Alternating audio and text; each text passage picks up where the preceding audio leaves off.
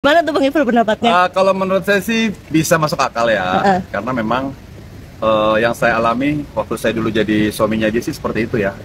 Jadi kalau marah, temperamen, tingkat tingkat tinggi, pokoknya melebihi dari wanita-wanita pada umumnya dah. Mhm, Makanya kan terjadi KDRT, mhm, ya kan di rumah tangga gue. mhm, Ya kan dia KDRTin gue, bukan gue KDRTin dia gitu. Jadi akhirnya gue ngelawan tuh, sempet sekali ngelawan gitu loh, ya kan? Saking nggak kuat itu selama gue tiga tahun tuh itu, aduh, gue bilang kok ini perempuan begini banget, mhm. kayak apa sih ya? Kalau lagi nih emosi tuh main tangan, main kaki, beneran. Mhm. Makanya terjadilah KDRT itu dan terdaftar di pengadilan agama. Gitu saya juga sempat bingung, gue bilang, loh ini kok kalau baik kayaknya seperti putri salju gitu. Tapi kalau udah galak itu udah kayak melebihi dari apa udah lebih dari wanita pada umumnya lah pokoknya aduh bisa nyakar bisa mukul bisa nonjok. Udah marah udah. Pokoknya serem deh. Aha. aduh saya kalau udah bayang dulu lagi jadi suaminya. Suami, dia tuh serem banget. Ini kisah real ya nyata gitu. Dan saudara-saudara juga menyaksikan kalau dia lagi emosi kayak gimana gitu. Ya. Jadi seperti itu ya. Bisa masuk akal sih kalau menurut saya. Saya yang laki-laki begini aja emosi masih bisa dikontrol. Mhm. itu kan? Ya pasti tau lah amarah dari setan gitu kan. Ya semoga kalau memang benar di dalam tubuhnya dia tuh ada jin ya semoga dikeluarkan. Ya di Rukia ya mudah-mudahan Ustadz Danu dari jauh. Apalagi beliau kan orang berilmu ya. Hmm.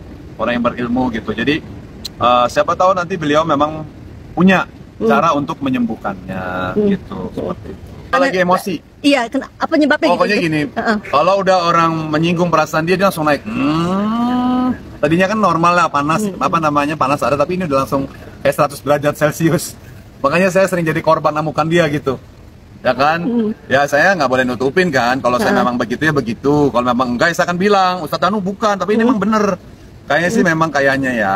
Tapi nggak tahu jin nggak tahu apa saya juga nggak bisa memastikan. Yang jelas memang temperamennya itu di luar dari rata-rata wanita normal.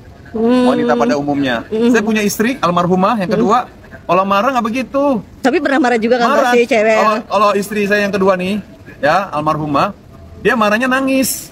Hmm. Kalau ini nih kayak ngegebukin maling. Kayak ada maling nih ketangkep, kayak begitu gebukin gitu. Oke. Uh, kalau ada piring bisa melayang, kalau ada apa namanya, pokoknya ada di situ bisa dilempar ke muka deh. Yang penting dia puas dan terlaksana. Mhm. Sering saya kena, wah, bogem-bogeman begitu. Tapi mudah-mudahan dia sembuh lah, cepat sembuh. Jadi wanita yang eh, emosinya tuh yang bisa terkontrol, ya kan? Bisa menjadi eh, wanita seperti yang lainnya gitu kan, sehat. Kalau marah pada pada wajarnya saja gitu. Jangan terlalu ya kalau saya rasa sih memang udah udah terlalu berlebihan ya. Kita lihat di medsos, ya kan semua nama-nama binatang keluar, Hmm. kebun binatang keluar. Kalau udah ngatain orang seenaknya, ya kan? Hmm. Kucing kalibata, jengger, ya kan? King hap hap, Iya. semaunya gitu. Yang penting dia puas gitu. Nah, saya mah yang nawin mah paham, gitu kan? Makanya saya bilang, Diko dari semenjak nikah sampai sekarang malah makin parah, Oh gitu. makin parah ini Memang.